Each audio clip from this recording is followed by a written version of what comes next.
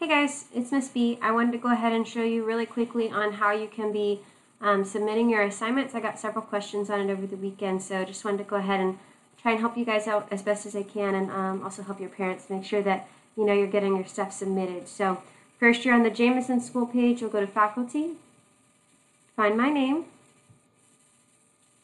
okay, and then you're in our e-learning tab. So you have the starting video, right here where you'd watch and then you're going to select an activity to complete.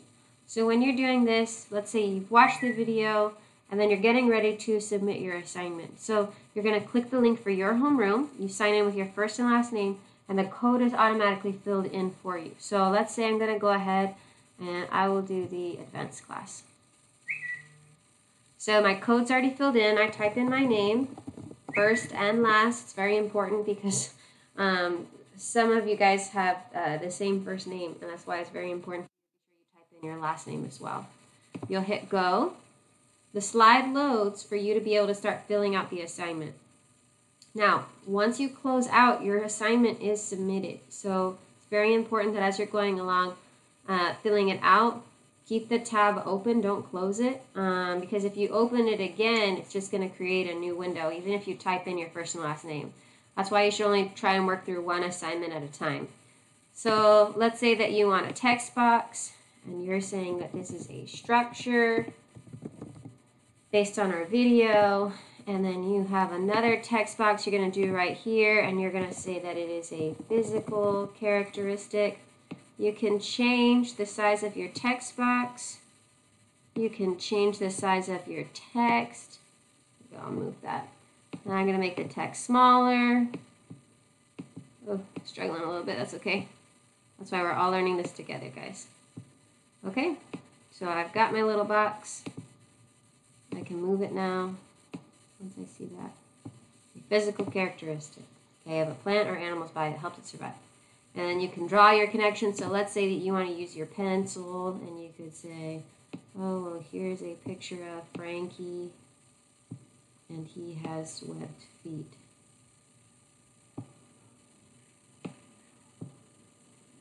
And here's another leg.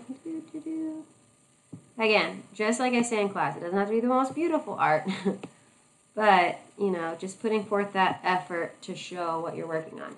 So let's say I get through with the whole entire assignment, I've filled in all my boxes, I've drawn all my connection pieces. Once you've done that, the the screen is already under your name. So you don't have to worry about writing your name again anywhere on the paper, which is great for me and also great for you. Um, because then um, once I get over to the teachers tab, I can go ahead and see, oh, Melissa Briggs submitted an assignment and I can go ahead and start to grade it. What I will do once I have um, given you your points is I'm going to go ahead and send a Skyward email to your parents letting them know you got points for your assignment. You completed an assignment. Now, if you are just clicking through and you're not getting the assignment complete, let's say you only do this first row and then you close it. Maybe it's an accident, maybe not, okay? But then you would have to come back and you would need to finish the assignment. I will not be giving credit if you only do the first line. That's that's not really helping you very much, okay? You need to be sure you're getting the assignment done and then turning it in. Like I said, if it's an accident, it's no big deal. You're just going to have to reopen the assignment. You will have to start over at that point. It's not saving your progress because once you close it, this, and you, have submitted the assignment. Um, and if you've just clicked through the assignment and then you close it, yes, it's submitted, but you can still create a new one. Let's say that um, you got confused and you closed out of the window. You can open a new one and say, oh, okay, well, I'll just go ahead, I'll submit the new one. Let's say Melissa Briggs no, she didn't complete her assignment. Oh, actually perfect. Great. I learned something new just now. You need to type your name in exactly how you typed it before so you can pull up the same assignment and then you can keep working on it, okay? So then you would keep going. Perfect. Awesome. See, we all learn something new all the time. Uh, so this is why we're learning all this together. That's okay. So be sure that you type your name in exactly as you have it typed. Don't change it. Don't forget your last name. You need first and last typed every time so you can keep pulling up your assignment. Um, I think that about covers it. If you have any questions, please feel free. Um, ask a question on the comment section, anything like that. But Hopefully this helps. Just know that once you close it out, I'm automatically able to see any strokes, anything you type on this page automatically goes to my teacher side of it over here.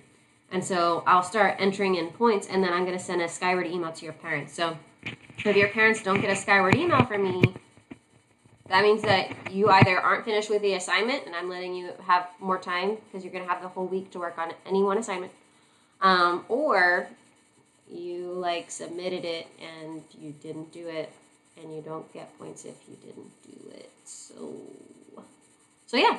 Um, but again, if you have any questions, feel free to comment below. Hope that this is helpful. You guys keep working hard. I know this is all very new. I know it's a little bit stressful, but um, just keep being awesome. I'll see you guys later.